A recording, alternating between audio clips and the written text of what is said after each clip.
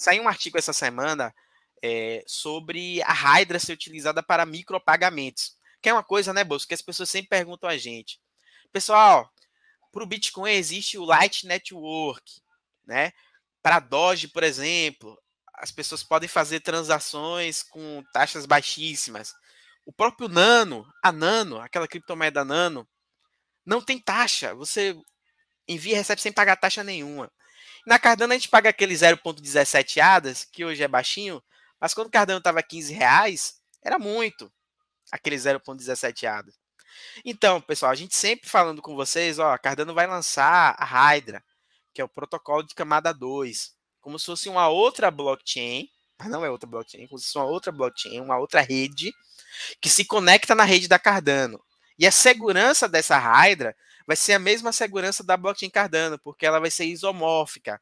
É como se ela fosse uma cópia da camada 1 da Cardano, essa Hydra, tá? A gente tem tutorial, a gente tem a gente tem lives aqui sobre a Hydra, né, Bosco? Não só Sim. uma, várias lives sobre a Hydra. E agora o que saiu é que está sendo desenvolvida uma solução para desenvolvedores, não é para usuário comum, é para desenvolvedores, que vai permitir, Bosco, que as carteiras é, adicionem o suporte à, à Hydra de forma rápida. Por exemplo, MinSwap não. Oh, MinSwap. é, Eternal não vai ter que fazer a solução deles individual. Typhon não vai ter que fazer a deles, a Nami não vai ter que fazer, a Yoroi não vai ter que fazer a dela, a Lace não vai ter que fazer. Então, a Cardano está trabalhando em uma solução, Bosco, que todas as carteiras possam usar ela. E outra, é, inclusive serviços que não sejam carteiras, como um gateway de pagamentos. A gente sabe que existe o ADAPay, né, Bosco? Mas esse esse esse micropagamentos com Hydra, ele vai permitir também que você além de dar suporte à camada 1 da Cardano, que é a blockchain Cardano, que a gente usa aí na nossa carteira para enviar e receber, você tem essa camada 2, que ela vai ser muito mais rápida. A gente já conversou com vocês várias vezes, né? É, cada cabeça Hydra teria a capacidade de produzir mil transações por segundo. É outra viagem, é muito rápido, né? E aí você pode ter várias cabeças Hydras processando serviços diferentes. Por exemplo, a MinSwap pode ter uma cabeça Hydra. O, jogo Cardano Warriors pode ter uma cabeça Hydra deles. A JPG Store, maior marketplace de NFTs, pode ter a cabeça Hydra deles. Aí é, você tem toda a segurança da Cardano e você tem uma velocidade maior, porque você está numa camada 2, entendeu? E aí, Bosco, saiu essa notícia, cara, é super positiva, né? Vou pular logo para ela aqui. Esse artigo na, lá na Cardano é no blog da IOD, tá? Aqui na descrição da live tem um blog da IOD, vocês podem entrar lá e ver esses artigos que são publicados, né? E aí é uma empresa parceira chamada Obsidian Systems. Obsidian, Obsidians, Obsidian, Obsidian Systems. Vamos ler em português, tá, galera? Não fiquem corrigindo o inglês da gente, não, que o meu é horrível. O do Bosco é muito melhor. O Bosco é fluente, eu não sei nada. Não, então, é... Enfim, não, você é, você é, fera, você é nativo, pô.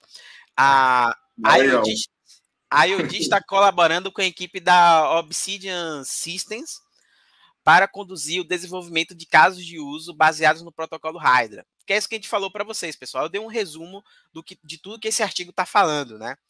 É, eles falam aqui sobre a Hydra, sobre é, por que seria legal, né? Hydra for Payments é de código aberto, pessoal. Ele vai ser aberto, várias carteiras diferentes vão poder usar porque é código livre. Então eles podem simplesmente pegar, copiar, colar, modificar e já está funcionando. Significa, Busco, que quando sair a Hydra, é, MinSwap, Nami, Sun, é, Ioroi, Lace, todas as carteiras rapidamente vão conseguir fazer essa integração com a Hydra, porque já está sendo criado esse código que todos vão poder usar, entendeu? É, familiar, a interação com a camada 1 é direta e não introduz novos contextos ou técnicas significativas para os desenvolvedores dominarem. O cara que já desenvolve uma carteira na Cardano, para ele usar Hydra, vai ser familiar, é isso que está dizendo aqui, tá? É rápido, as transações, a gente já falou. Simples, porque devido à natureza isomórfica da Hydra, ela não apresenta complexidade a mais, né? Vai ter todo o poder do UTXO, vai continuar tudo igualzinho. E vai ter também o Bebel Fees, né, Bosco? É, vai poder, inclusive, ter serviços Hydra sem cobrar taxa, né? Alguém vai ter que pagar, né? Mas não o usuário que negocia, enfim. É, é isso, pessoal. Essa é a notícia, tá? Resumi o artigo aqui para vocês. É, quarto trimestre eles estão trabalhando nessa solução e eles esperam que em 2023 isso fique disponível aí, conforme a Hydra também seja lançada, né? Sabe que a Hydra está em teste ainda, deve sair aí no primeiro semestre do ano que vem.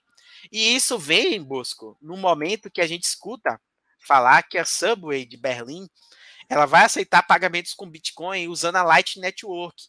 Então, a, a Hydra, pessoal, está para a Cardano como a Light Network está para o Bitcoin, né? Então você vê que Cardano também vai ter essa solução de escalabilidade que vai permitir que ela seja utilizada para micropagamentos, né? Enfim, você pagar no dia a dia sem pagar taxa. Vai ser a revolução.